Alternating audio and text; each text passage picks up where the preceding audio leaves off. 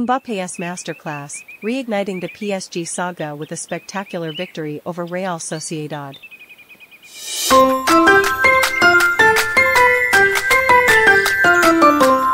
Kylian Mbappe is leaving Paris Saint-Germain, but he is not going to just let go, there is one last thing to do before he leaves.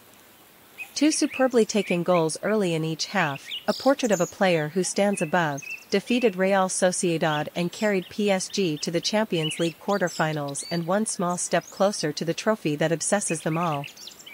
If Luis Enrique, the coach charged with changing a culture and preparing a post-Mbappe era, insisted his side had suffered to win the first leg, in the second he said everything had gone swimmingly, any hope of a home comeback extinguished early by an exhibition from the man about to bid farewell. Harry Kane celebrates after his second goal, puts Bayern Munich 3-0 ahead on the night. If they play like this, they are candidates to win the competition, I have no doubt, the real coach, Imanol Alguacil, said when it was over.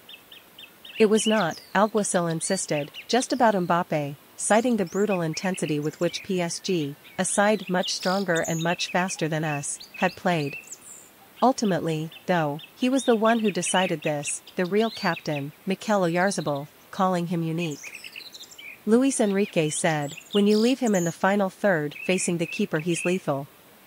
Having opened the scoring in Paris, he added two more here to ease PSG to a 2-1 win, 4-1 on aggregate. And with him, ease really does seem to be the word. The resistance was broken after just 15 minutes, and it was yet another manifestation of the smooth brutality of Mbappe, that unanswerable superiority.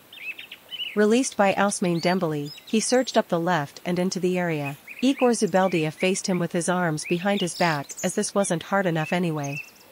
Mbappe tapped on the brake, the accelerator, the brake and the accelerator again, just a little each time, but enough to send his marker out of the way, balance gone. And then, bam, the ball flew past Alex Remiro and into the far corner, hard enough to unhook the net. For a moment, in fact, the referee Michael Oliver stopped and the Reale Arena wondered if they were somehow going to get let off, maybe it could be ruled out. But on what grounds? Being too good perhaps, Released by Luis Enrique's decision to bring Dembele inside, leaving him the left wing, there was certainly no obvious way of stopping him. Three men in bibs came to fix the damage done and Mbappe carried on regardless.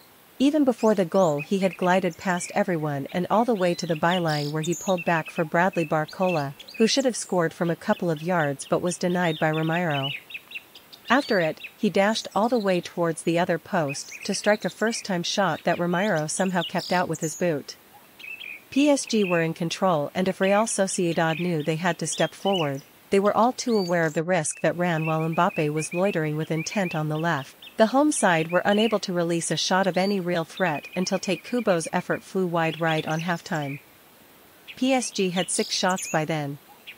Mbappe had taken three of them.